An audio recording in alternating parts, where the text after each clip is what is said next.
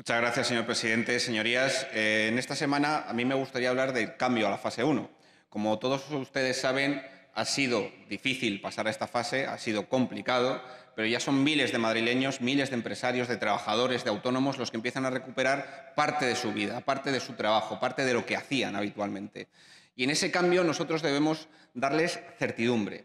Y certidumbre en el sentido de que debemos explicarles lo que pueden y lo que no pueden hacer, a dónde pueden ir y a dónde no, cómo deben adaptar sus trabajos, cómo deben adaptar sus negocios, su forma de hacer, para que no corran riesgo ni ellos ni el resto de la población.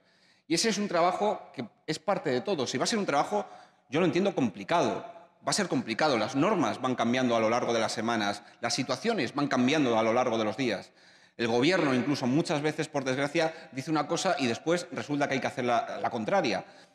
Toda esa situación hace que empresarios, trabajadores, madrileños en general, muchas veces se encuentren en situaciones de incertidumbre, de no saber exactamente cuándo pueden abrir, cuándo pueden salir, cuándo pueden ir a trabajar, cuándo pueden disfrutar de sus hijos en la calle o en los parques.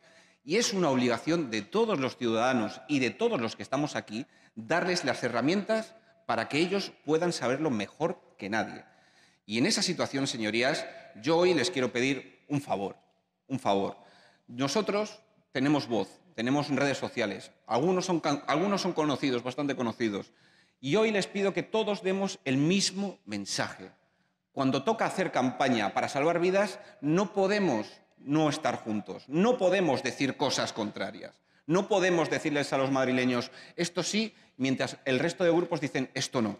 Y yo hoy les pido que seguramente haya madrileños que no se fíen de mí porque sea un fascista peligroso o un rojo peligroso, Hoy les pido que todos, por una vez, hagamos lo mismo y demos los mismos mensajes, porque eso ayudará a salvar vidas hoy y sobre todo mañana. Porque, señorías, hay que ser conscientes de que, por desgracia, países que lo han hecho mucho mejor que nosotros, mucho mejor que nosotros, que han sido más disciplinados que nosotros, están teniendo rebrotes. Y, señorías, eso significa que la pregunta no es si lo va a haber o no, sino cuándo. ¿Cuándo? Y la única forma, señorías, la única forma de estar preparados para ese futuro oscuro que puede llegar es que en este presente dejemos claro a la gente cómo se tiene que cuidar, cómo se tienen que proteger.